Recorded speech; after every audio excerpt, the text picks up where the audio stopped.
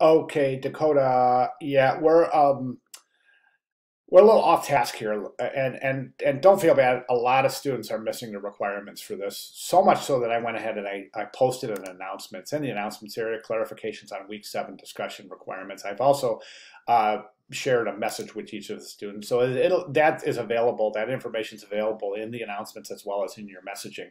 So basically what we want to do is we want to take a look at all of the individual infographics that you're using to compile the poster.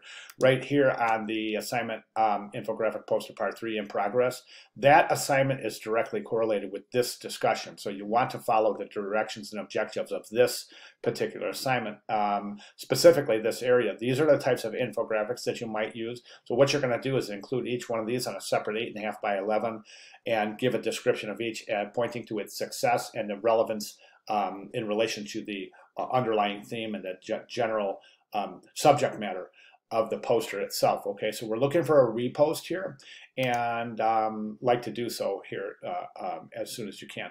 So if you have any questions, please let me know, but I would like to see that these requirements applied to, at least to your Sunday. But the idea here is not that we jump to the poster, okay?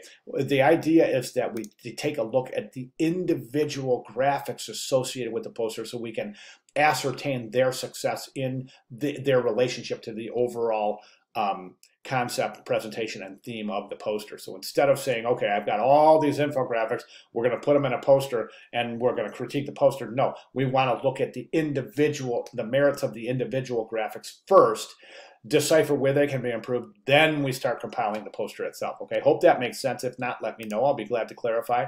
But be sure to take a look at the video and or the um, instant message um, in within the class in the messaging area of the class. So, um, okay, if you have any questions at all, please let me know. Thanks, Dakota.